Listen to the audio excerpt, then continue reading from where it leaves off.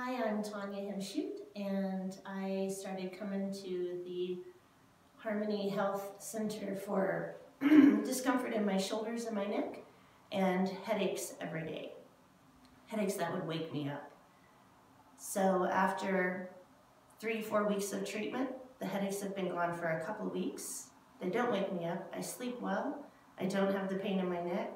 Um, my back is getting better as well across my shoulders and I can now drive and turn my head left and right to see in traffic. And every day it just gets better and every adjustment I